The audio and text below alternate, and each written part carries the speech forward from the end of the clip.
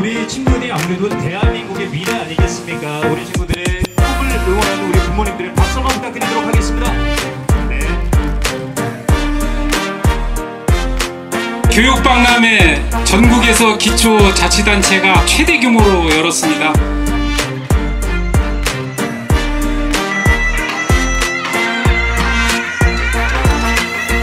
저희는 주제가 이제 반려식물과 함께하는 행복한 일상이에요. 직접 만들어서 집에 가서 이제 반려식물을 키울 수 있는 체험을 하고 있습니다. 저희는 뭐 핸드드립 체험을 하고 있는 저희고요. 집안에서도 가볍게 커피를 즐길 수 있는 이런 교육을 통해서 맛있게 커피를 먹을 수 있는 그런 교육을 지금 하고 있는 중입니다.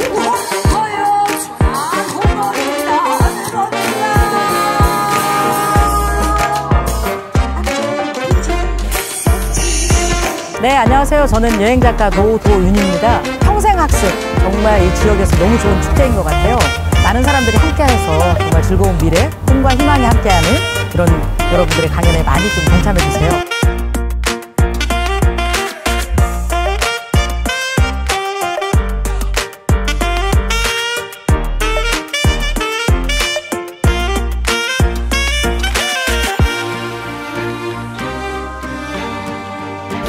사람이 살아가면서 그 자기를 교육하고 이 공부하는 과정이 있다는 것은 어, 대단히 삶의 질을 높이는 그런 분야라고 생각합니다.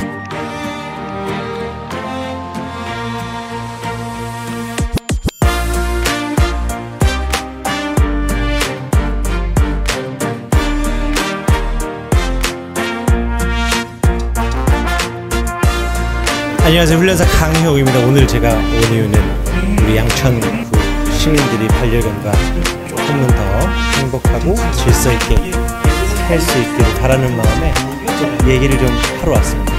훨씬 더 반려견과 행복하게 할 수 있는 양천구 될수 있기를 바라고요. 저는 나중에 기회 되면 또 뵙겠습니다.